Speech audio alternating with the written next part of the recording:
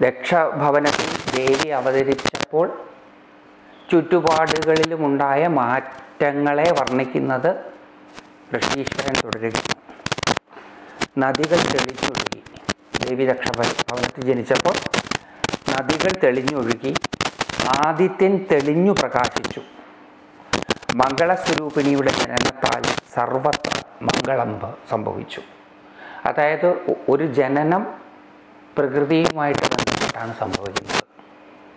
പ്രകൃതിയുമായിട്ട് ബന്ധപ്പെട്ടാണ് വാസ്തവത്തിൽ എല്ലാ ജനനങ്ങളും സംഭവിക്കുന്നത്. അതിസൂക്ഷ്മമായി നിരീക്ഷിക്കാൻ സാധിക്കുന്നവർക്ക് ഇത് തിരിച്ചറിയുവാനും കഴിയും. അപ്പം വ്യാസഭഗവാൻ അതിസൂക്ഷ്മമായ നിരീക്ഷണ പാടവമുള്ള ആളാണ് അതുകൊണ്ടാണ് അദ്ദേഹത്തിന് പ്രകൃതിയിലുണ്ടായ ചെറിയ മാറ്റങ്ങൾ പോലും മനസ്സിലാക്കി പറയുവാൻ സാധിക്കുന്നത്. ബ്രഹ്മരൂപിണിയുടെ അവതാരമായതിനാൽ അവൾക്ക് സതി എന്ന പേരിട്ടു. പേരും ആളുടെ പ്രവൃത്തിയും ഒക്കെ തമ്മിൽ ബന്ധപ്പെട്ടാണ് കിടക്കുന്നത്.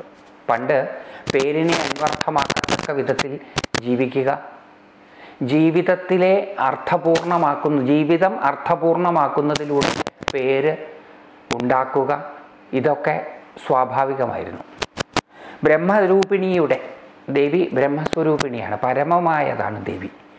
ആ പരമമായതിന്റെ മാനിഫെസ്റ്റേഷൻ ആയതിനാൽ അവതാരമായതിനാൽ അവൾക്ക് സതി എന്ന പേര് ഇട്ടു.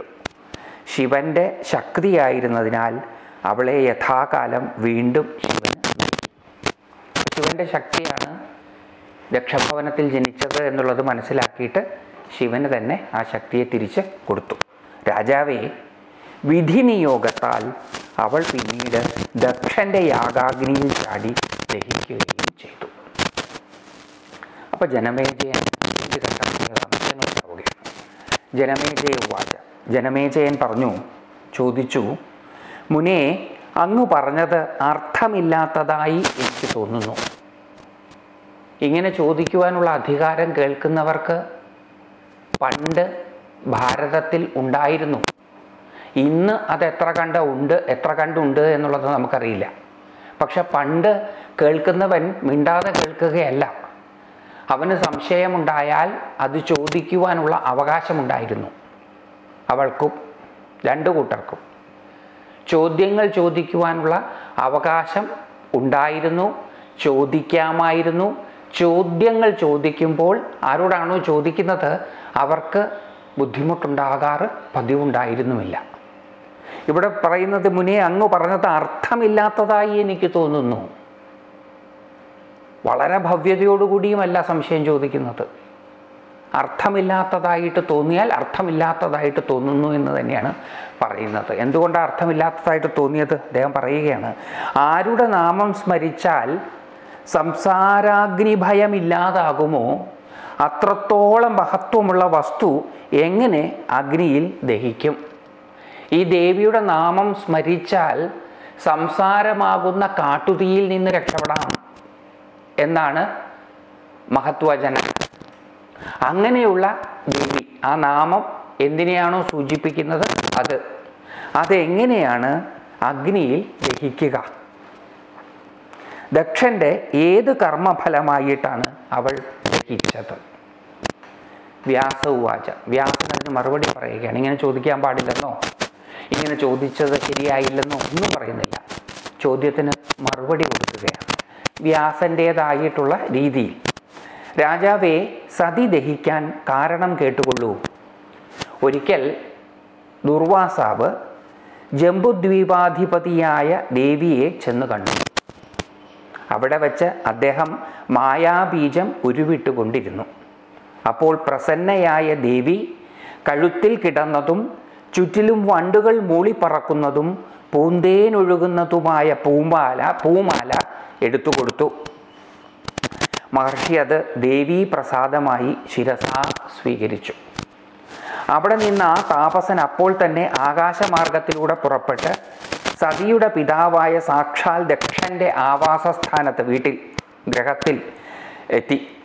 ആ അമ്പയെ ദർശിക്കണമെന്ന ആഗ്രഹത്തോടെ ചെല്ലുകയും സതിയുടെ പാദങ്ങളിൽ നമസ്കരിക്കുകയും ചെയ്തു.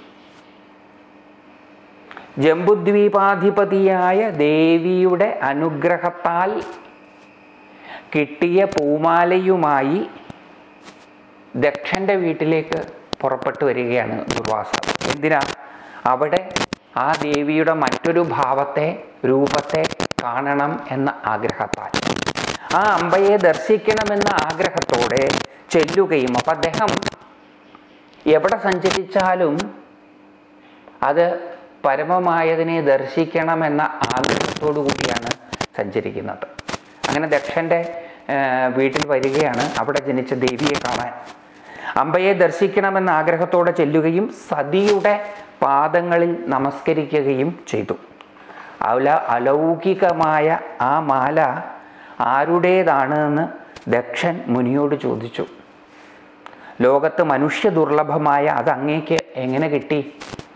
അത് കേട്ടപ്പോൾ അദ്ദേഹം കണ്ണീരോടെ ഭക്തി കൊണ്ട് ഗദ്ഗത ചിത്തനായി പറഞ്ഞു ദേവിയുടെ അതുല്യ പ്രസാദമാണ്. സതിയുടെ പിതാവ് ദക്ഷൻ ആ മുനിയോട് മാല ആവശ്യപ്പെട്ടു. നല്ലത് കണ്ടാൽ ആർക്കും തോന്നും അതെനിക്ക് വേണം എന്ന്. ദക്ഷനും അതേപോലെ തന്നെ തോന്നി. അദ്ദേഹം മാല ആവശ്യപ്പെട്ടു.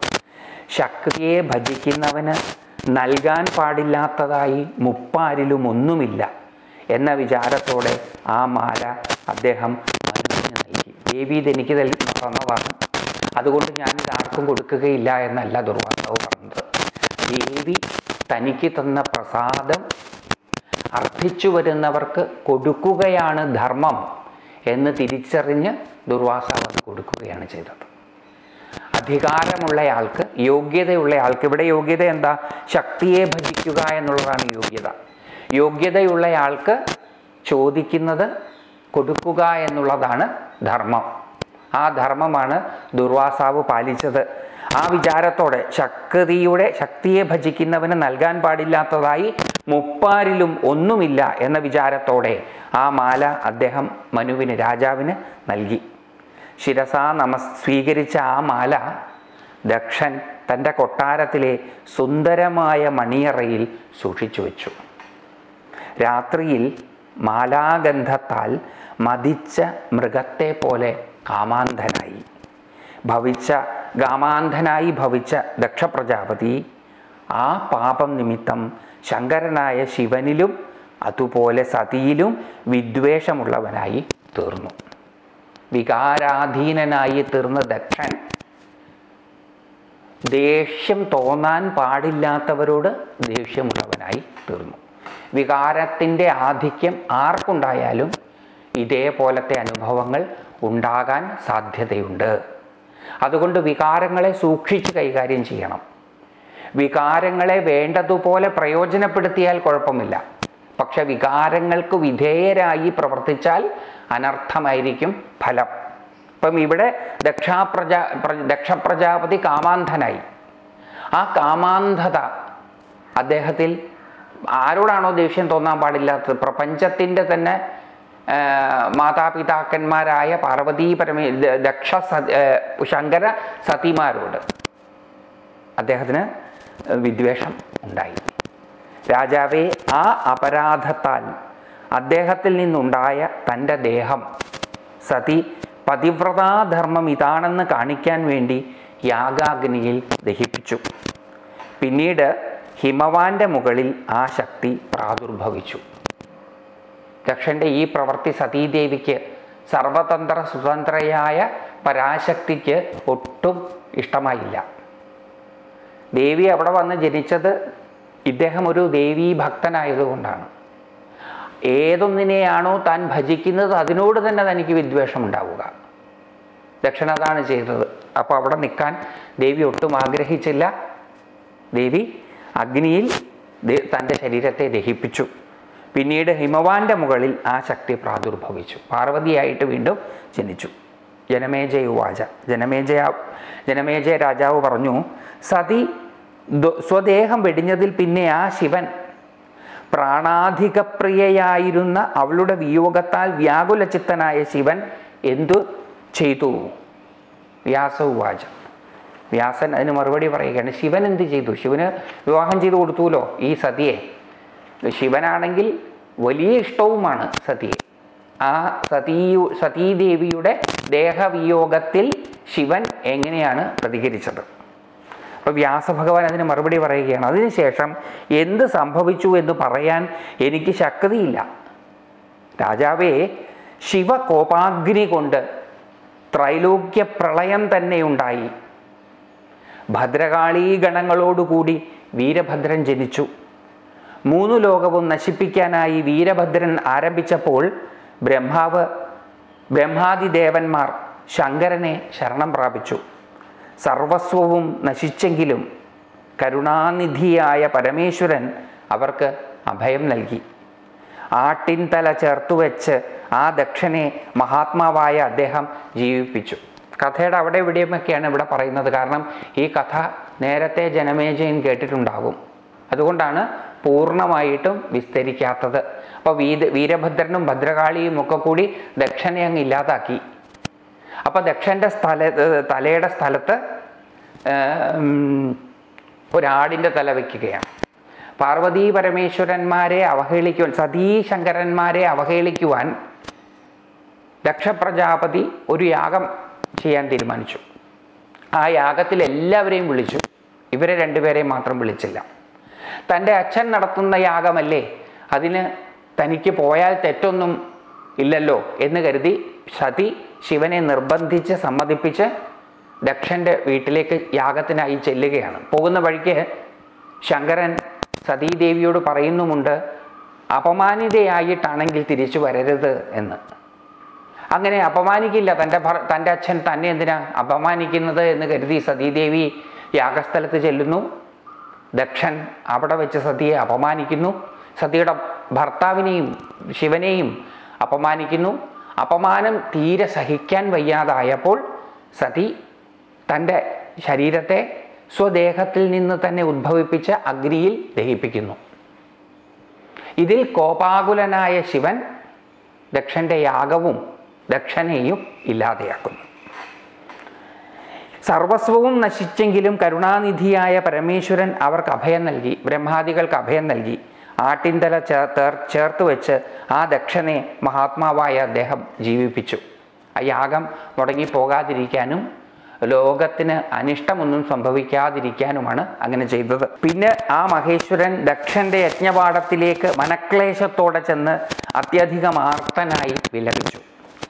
അഗ്നിയിൽ കത്തി എരിഞ്ഞുകൊണ്ടിരിക്കുന്ന ചിത്കലാസ്വരൂപിണിയായ സതിയെ കണ്ട് ഹാ സതി എന്ന് വിളിച്ചുകൊണ്ട് അദ്ദേഹം ആ ജഗം ഒളിവേറ്റി ഭ്രാന്തചിത്തനായി നാനാദേശങ്ങളിലും അദ്ദേഹം ചുറ്റിത്തിരിഞ്ഞു.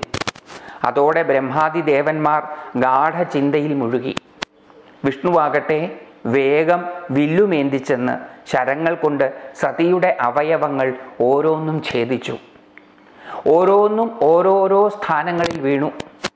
ഓരോരോ സ്ഥാനങ്ങളിലും ശിവൻ ഓരോരോ മൂർത്തിഭാവം കൈക്കൊണ്ടവനായി തീർന്നിട്ട് ദേവന്മാരോട് പറഞ്ഞു ഈ ഓരോരോ സ്ഥാനങ്ങളിലും ആരാണ് ശിവയെ അതായത് ദേവിയെ ഭക്തിപൂർവം ഭജിക്കുന്നത് അവർക്ക് ദുർലഭമായിട്ട് ഒന്നും തന്നെ ഉണ്ടാവില്ല. ആ പരാംപിക തന്റെ ഓരോ അവയവവും വീണ സ്ഥാനത്ത് നിത്യം സന്നിഹിതയായിരിക്കും.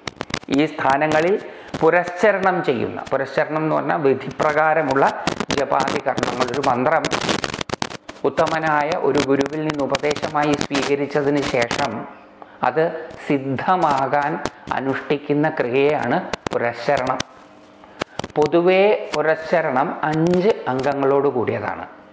എന്നാൽ വിശേഷമായിട്ട് പുരശ്ചരണത്തിന് പത്തംഗങ്ങൾ പറഞ്ഞ് കേട്ടിട്ടുണ്ട്. പത്തംഗങ്ങളോട് കൂടിയിട്ടുള്ള പുരശ്ചരണക്രിയയുമുണ്ട് അഞ്ച് അംഗങ്ങളോട് കൂടിയിട്ടുള്ള പുരശ്ചരണക്രിയയുമുണ്ട് അതിൽ തന്നെ സാമാന്യമായ പുരശ്ചരണ രീതിയുണ്ട്. രഹസ്യമായ പുരശ്ചരണ രീതിയും ഉണ്ട്. ഈ മന്ത്രം തനിക്ക് സ്വായത്തമാവുക എന്നുള്ള ലക്ഷ്യത്തോടു കൂടി ചെയ്യുന്നതാണ് പുരശ്ചരണം തനിക്ക് സ്വായത്തമാവുക എന്ന് പറഞ്ഞാൽ താൻ മന്ത്രമാണ് എന്ന് തിരിച്ചറിയുക. എന്നുള്ളതാണ്. അതിനുവേണ്ടി ചെയ്യുന്നതാണ് പുരശരണം. അപ്പോൾ ഈ ദേവിയുടെ അവയവങ്ങൾ എവിടെയൊക്കെയാണോ വീഴുന്നത് അവിടെയൊക്കെ ദേവിയുടെ നിത്യസാന്നിധ്യമുണ്ട്. അവിടെയൊക്കെ ഈ പുരശരണങ്ങൾ ചെയ്യുന്നത് ഈ സ്ഥാനങ്ങളിൽ പുരശ്ശരണം ചെയ്യുന്ന മനുഷ്യരുടെ മന്ത്രങ്ങൾ പ്രത്യേകിച്ചും ഉത്തമമായ മായാബീജ മന്ത്രം സിദ്ധിപ്രദമായി ഭവിക്കും. ആ മന്ത്രം സിദ്ധമായി തീരും ഇവിടെ പറയണത് വിശേഷമായിട്ടും മായാബീജമാണ്. സിദ്ധമായി തീരുക. അതാണ് ജപിക്കേണ്ടതെന്നാണ് ദേവി ഭാഗവതം പറയുന്നത്. ഇങ്ങനെ അവരോട് പറഞ്ഞിട്ട് ശങ്കരൻ ആ സ്ഥാനങ്ങളിൽ വിരഹാതുരനായി ജപധ്യാന സമാധികളോടെ കാലം നയിച്ചു. ജനമേജയ വജ ഇവിടെ മറ്റൊരു കാര്യവും നമുക്ക് മനസ്സിലാക്കാൻ സാധിക്കുന്നതാണ്. തന്റെ ഭാര്യ ഈ ശരീരത്തിൽ ആയിരുന്നു ഉള്ളത് എന്ന ധാരണയാണ് ശിവനെ ശോകാകുലനും മറ്റും ആക്കിയത്. തന്റെ ഭാര്യ ഈ ചെറിയ സ്ഥലത്ത് അതായത് ഈ ശരീരത്തിൽ മാത്രം ഒതുങ്ങുന്നതല്ല എന്ന് സർവവ്യാപിയായ പരമചൈതന്യം വിഷ്ണു വിഷ്ണു എന്നുള്ള വാക്കിന് വ്യാപ്നോതി വിഷ്ണു എല്ലായിടത്തും വ്യാപിച്ചു കിടക്കുന്നത്. എല്ലായിടത്തും വ്യാപിച്ചു കിടക്കുന്നത് പരമമായതാണ്. ആ പരമമായത് ശിവനെ ബോധ്യപ്പെടുത്തുകയാണ് ശക്തി എന്ന് പറയുന്നത് ഒരു ചെറിയ സ്ഥലത്തൊതുങ്ങുന്നതല്ല. അത് വിശാലമായി വികസിച്ച് എല്ലായിടത്തും വ്യാപിച്ച് കിടക്കുന്നതാണ് എന്ന്. ആ ബോധ്യപ്പെടുത്തുന്നതോടുകൂടി അതാണ് ശരങ്ങൾ കൊണ്ട് അവയവങ്ങളെ ഛേദിച്ച് പല സ്ഥലത്താക്കി എന്ന് പറയുന്നത്. ആ ദേവിയെ ഒരു ഭാഗത്ത് കേന്ദ്രീകരിക്കുന്നതായിട്ടാണ് ശിവൻ കരുതിയിരുന്നത്. അതങ്ങനെയല്ല അത് സർവവ്യാപിയാണ് എന്ന തിരിച്ചറിവ് ശിവൻ ഉണ്ടാക്കി കൊടുക്കുകയാണ് വിഷ്ണു ഭഗവാൻ ചെയ്യുന്നത്. അങ്ങനെ സർവവ്യാപിയാണ് ശക്തി എന്ന തിരിച്ചറിവ് ശിവനെ ജപധ്യാന സമാധികളിലേക്ക് നയിച്ചു. കോപതാപാതികളിൽ നിന്ന് ശിവൻ ധ്യാന ജപധ്യാന സമാധികളിലേക്ക് ചേക്കേറുന്നത് ഈ തിരിച്ചറിവോടുകൂടിയാണ്. ജീവൻ ബോധം ശക്തി ഇത് ഒരു പ്രത്യേക ചെറിയ സ്ഥലത്ത് കേന്ദ്രീകരിക്കുന്നതല്ല. ആ അറിവാണ് ദുഃഖത്തിന് കാരണം. ആ അറിവാണ് അറ്റാച്ച്മെന്റിന് കാരണം ബന്ധത്തിനും ബന്ധനത്തിനും കാരണം. ആ അറിവാണ് ദ്വേഷത്തിന് വിരോധത്തിന് കാരണം. താൻ എന്തിനോടാണോ അടുക്കാൻ ആഗ്രഹിക്കുന്നത്? താൻ എന്തിൽ നിന്നാണോ അകലാൻ ആഗ്രഹിക്കുന്നത്? അത് വാസ്തവത്തിൽ സർവവ്യാപിയാണ് എന്ന് തിരിച്ചറിഞ്ഞു കഴിഞ്ഞാൽ ആ തിരിച്ചറിവ് നമ്മളെ സമാധിയിലേക്ക് നയിക്കും. അപ്പം ആ തിരിച്ചറിവിന് വേണ്ടിയിട്ടാണ് നാം സാധന ചെയ്യുന്നത്. നമ്മുടെ ഒരു ധാരണ നമ്മുടെ ബോധം ഈ ഇട്ടാവട്ട സ്ഥലത്ത് മാത്രം ഒതുങ്ങിയിരിക്കുന്നതാണ് എന്നാണ്. അതിന് നമ്മൾ ധ്യാനിക്കുന്ന സമയത്ത് നമ്മുടെ ബോധത്തെ നമ്മൾ ധ്യാനിക്കുകയാണ് പ്രാണനെ കേന്ദ്രീകരിച്ച്. പ്രാണനെ കേന്ദ്രീകരിച്ച് ബോധത്തെ ധ്യാനിക്കുമ്പോൾ ക്രമേണ അത് സർവവ്യാപിയാണ് എന്ന തിരിച്ചറിവിലേക്ക് നാം എത്തിച്ചേരും. ആ തിരിച്ചറിവ് നമ്മുടെ മുക്തിക്ക് കാരണമായി തീരും അപ്പം ശിവനും അതേപോലെ തന്നെ മുക്തനായി തീർന്നു ശിവന് ശരിക്കും ഇതൊന്നും ബാധകമല്ല. കാരണം ശിവൻ പരമതന്ത്ര സ്വതന്ത്രനാണ്. പിന്നെന്തിനെ ഇതൊക്കെ ചെയ്തത്? നമുക്ക് ഇതൊക്കെ ബോധ്യപ്പെടുത്തി തരാൻ. ഇവർ പലപ്പോഴും പലതും ചെയ്യുന്നത് പരമമായത് പലപ്പോഴും പലതും ചെയ്യുന്നത് പലരായിട്ട് അവതരിക്കുന്നത് നമുക്ക് മാർഗനിർദ്ദേശങ്ങൾ തരാൻ കൂടി വേണ്ടിയിട്ടാണ്. അതുകൊണ്ട് ഈ കഥകളൊക്കെ വേണ്ടതുപോലെ കേട്ട് മനനം ചെയ്ത് ഇതിലടങ്ങിയിരിക്കുന്ന അർത്ഥതലങ്ങളെ കണ്ടെത്തി സ്വജീവിതത്തിൽ സ്വാംശീകരിക്കുകയാണ് എങ്കിൽ അത് നമുക്ക് മോക്ഷത്തെ നൽകും. അതുകൊണ്ടാണ് ഈ കഥ ആദ്യത്തെ പടി കേൾക്കുക എന്നുള്ളതാണ്. കേട്ടതിന് ശേഷം നമ്മളതിനെപ്പറ്റി ചിന്തിക്കണം. അപ്പം ശിവൻ അങ്ങനെ കോപാകുലനാകുമോ? ശിവൻ അങ്ങനെ ശിവൻ അറിയില്ലേ ഈ ശക്തി എല്ലായിടത്തും വ്യാപിച്ചു കിടക്കുന്നതാണ് എന്ന്? ശിവൻ അപ്പം എങ്ങനെയാണ് അസ്വസ്ഥനായത്? ദുഃഖിതനായത്? അപ്പം നമ്മൾ ചിന്തിക്കുകയാണ് അപ്പോൾ ശിവൻ എന്തിനായിരിക്കും അതൊക്കെ ചെയ്തത്? നമുക്ക് മാർഗദർശകനാകാൻ. നമുക്ക് മാർഗദർശനം തരിക എന്നുള്ളതാണ് ഇവരുടെ ഒരു ഉത്തരവാദിത്വം. അവരത് ഭംഗിയായി നിർവഹിക്കുകയും ചെയ്യുന്നു. അങ്ങനെ ശിവൻ വിരഹാതുരനായിട്ട് ജപധ്യാന സമാധികളോടെ കാലം നയിച്ചു.